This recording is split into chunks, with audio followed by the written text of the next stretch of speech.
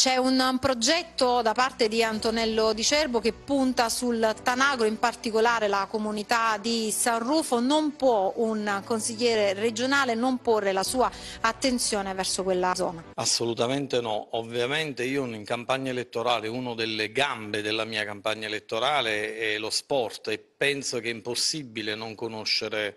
San Rufo. Questa struttura sono andato circa vent'anni fa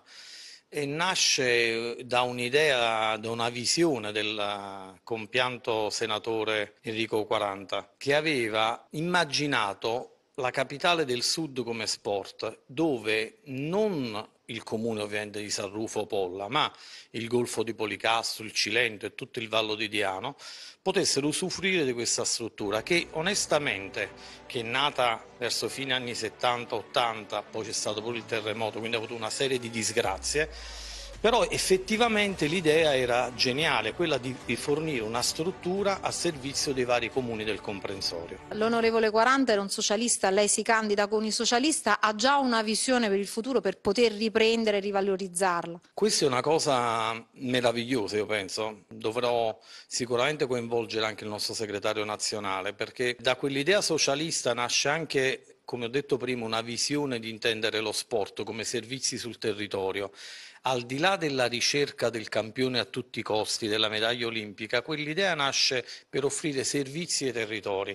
Effettivamente dopo un periodo di difficoltà il centro sportivo San Rufo, che poi fa parte del consorzio sport del Bacino 3, oggi ha ripreso a vivere, oggi da un, paio, da un po' di anni, grazie a Metasport che è un'associazione dilettantistica che gestisce gli spazi. Quando sono andato a trovarli l'altro giorno, c'erano bambini che facevano nuoto, c'erano bambini che facevano colonie estive,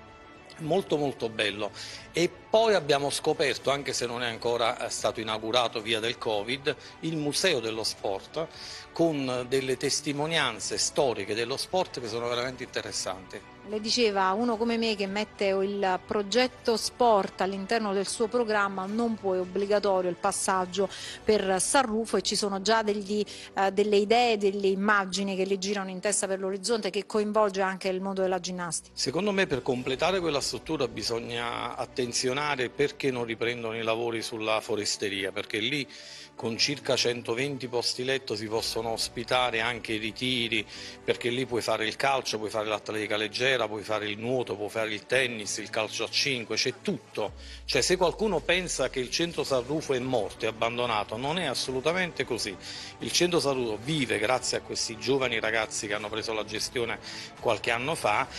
Bisogna completare la foresteria e poi ho io un'idea particolare perché ho sempre una passione nel cuore.